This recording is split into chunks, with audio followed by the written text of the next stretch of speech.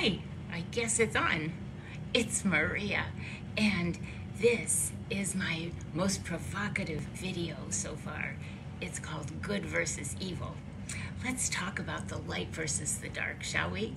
We've all heard of the light versus the dark, the good versus the evil, God versus Satan. Yeah, the angels with white wings versus the fallen angels with black wings even heaven versus hell. Ooh, it's enough to spook us because how can we protect ourselves really against such diabolical entities? How can we make sense of such an out of this world phenomenon? The spiritual battle that is going on in dimensions unseen, is this for real or is this a metaphor? And why is life so damn difficult? Yet, with all this darkness all around us, how can we possibly make it? I mean, we might just, we might as well just give up, right? And is it any wonder why so many are barely surviving, much less thriving? Well, here goes. Many in the spiritual community have heard and truly want to believe that it's all just love and light, you know? And to some extent it is. But what about the lying and the cheating and the bad people out there? The dark energy that casts black magic spells and strategizes to bring us to ruin, that spreads lies about us to keep us stuck and isolated and alone, that goes after our lover, or spouse, that hurts our children and that steals our money. They just take it and hide it. What if I told you a secret? Remember when Jesus said to love our enemies? What if our enemies are actually in our lives, not to make us victims of their wrath and their crap, but to motivate us to reach higher and to become better, to raise our vibe so high that nothing other than the frequency that we emit can touch us. Because remember, karma, the energy that we send out into the universe, comes back to us.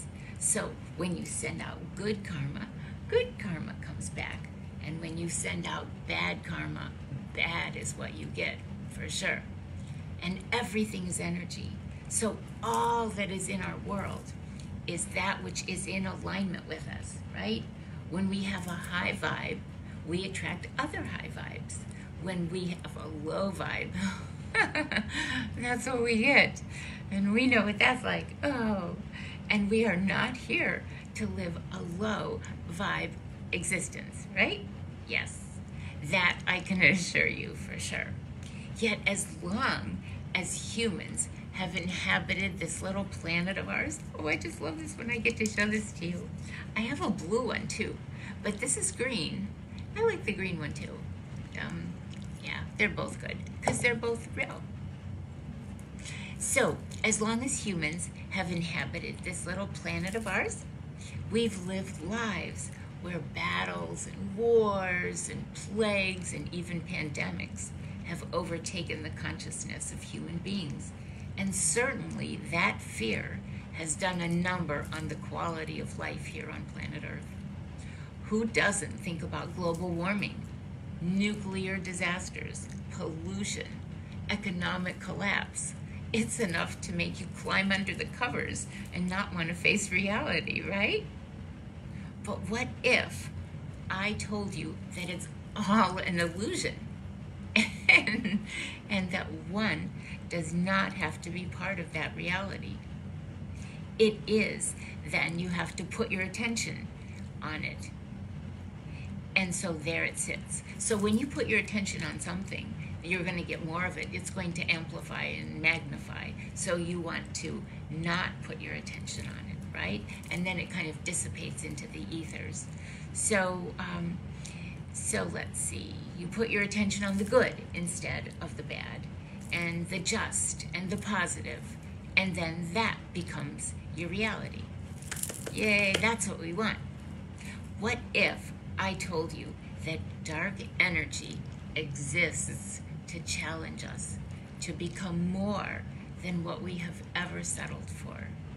What if dark energy is the stimulus for change? Oh, that's an interesting one, right? What if dark energy propels us to get out of our comfort zone of complacency and to change our world for the better? Isn't that amazing? Yeah. It's like Halloween, where the children wear boogeyman masks to frighten people and go boo. But what if we say, hey, I know who you really are? And instead of spooking us, they laugh and the mask falls off for us to see the face that wants attention underneath it all. Those little narcissists, right? Yeah. I don't know about you, but I've seen some miraculous benefits over the last couple of years in terms of how our world is changing and how people are working from home, how families in lockdown have become closer and more involved in one another's lives, how there are fewer distractions for people to avail themselves, how people are taking control of their health and making choices for themselves, how people are learning to think for themselves and express themselves, how the status quo is changing for the better. Sorry, I need some water.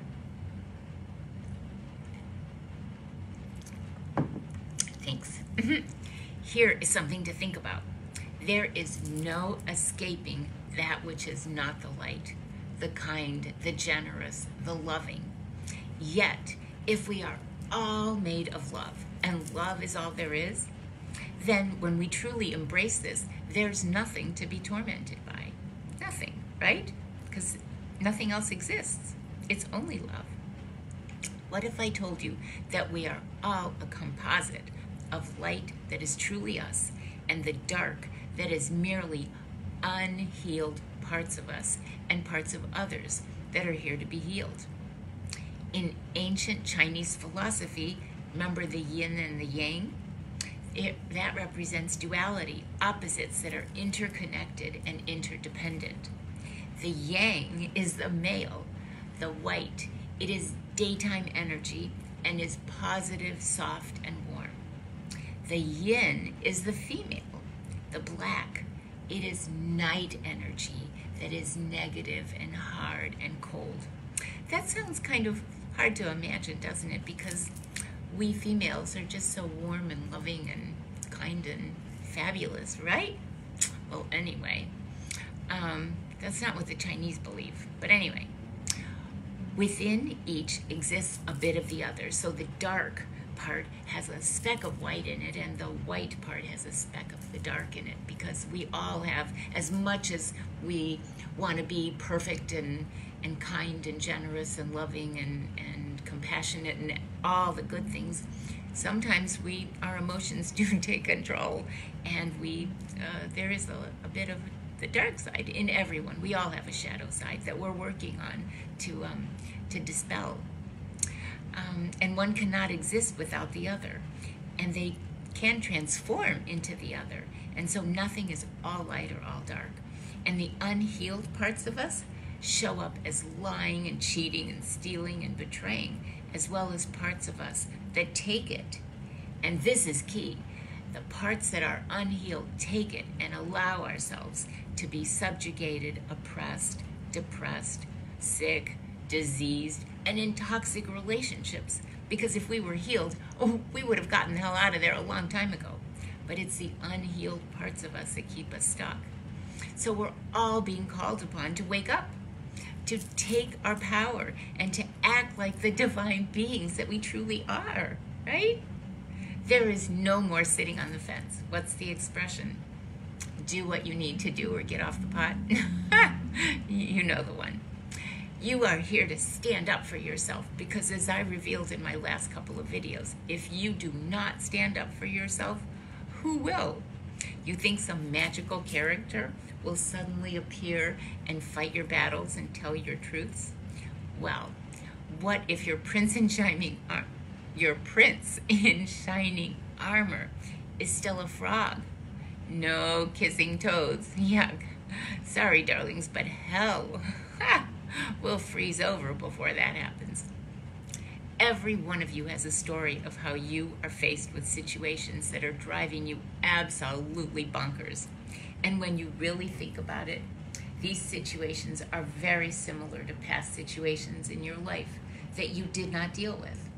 And we know that when you don't deal with an issue, it only gets worse until it brings you to your knees.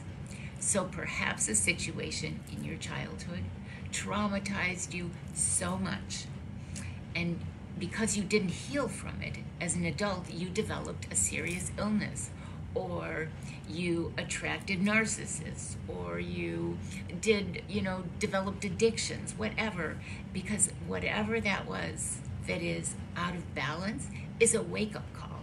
Your soul is screaming for you to pay attention to it. So maybe you saw your mother abused and so subconsciously you chose an abuser too.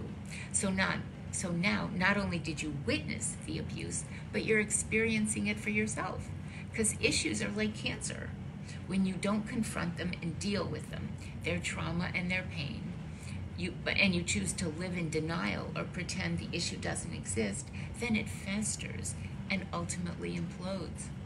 I'll tell you in my life, as I've mentioned before, when I came back from a trip to Brazil, my family had changed the locks to my Florida condo and forged the trust that now said I was written out.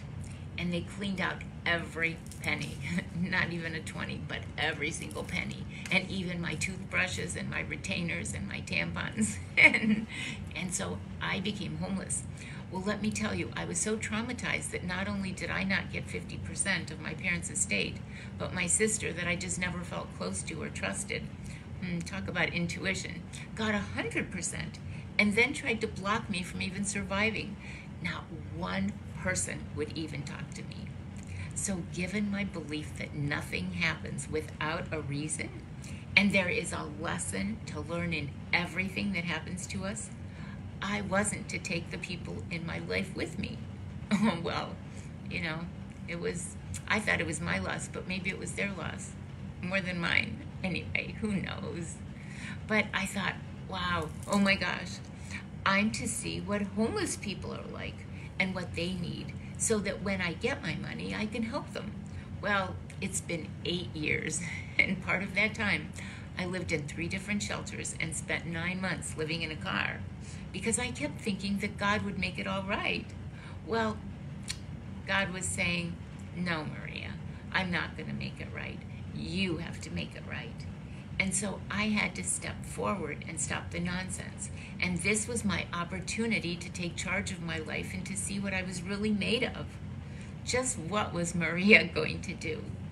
Well, doesn't that sound like the drowning man praying to God? Help me, please, God. So the man drowns. And when he gets to heaven, he asks God, Why, God? Why didn't you help me? and God tells him, what do you mean I didn't help you? Who in the world do you think sent you that airplane, that boat, and that helicopter? yeah, right? And so, of course, my situation was a little more complicated, but I did go to a dozen different law firms to help me, and they wouldn't touch my case. I went to the FBI, I wrote letters. Even President Obama sent me a letter with a link to a job site. oh, so let's just say it wasn't time for justice quite yet. For me, the dark was just too dense, and obviously the timing wasn't right. I mean, energetically on the planet, sometimes um, we we have to wait for the perfect opportunity, and, and patience is a virtue for sure. And so, and I was to have certain experiences that my soul wanted for my growth. And I knew that nothing happens without a reason. So I had to keep trying and plugging away and keep learning, yet all the while knowing that at the right time things would open up. Think about this. We are here to overcome. Remember that song? We are the champions. Yes. And to take our power. Well, the only way to do that is to be strong and to show courage, not fear, to tell the truth and put your foot down. Right? Because remember, it's not about the other people in our lives, but rather it's about us learning, growing, and evolving. And at some point, we learn our lesson and we make changes to improve our life. And it's no accident that my family would behave this way to me, for they were on their life path, just as I was on mine. And truly, if it weren't them, it would have been others, because the opportunity for my growth was there. I had to learn to finally come into my power and to fight for what was mine and to and to understand that uh, we are presented with challenges that we need for our soul growth. And so we're to go through those and figure out a way around them right? And then to use the experience and the knowledge we've gained to help others because that's why we're here right? We're here not to help ourselves as much as we are to help others, but we use the experiences that we have gone through in order to help others, right? So, um, and and for those people who have become adversaries or the dark influences in our life, you can be sure that their um, their path was more difficult than ours because karma is nothing Ever want to experience to be sure because karma never forgets people and never loses an address. Truly. Karma is balancing energy. You reap what you sow for every action. There must be an equal and opposite reaction. That's Newton's third law. Truly, without it, we could not become our best selves.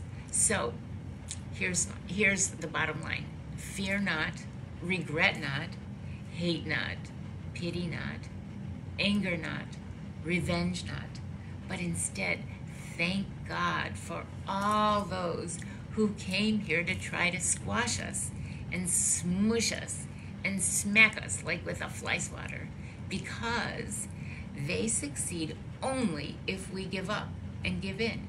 And once we realize that life on earth is all a game, a strategic chess game, a game of life and we are here to make the right moves and to overcome as we perfect ourselves.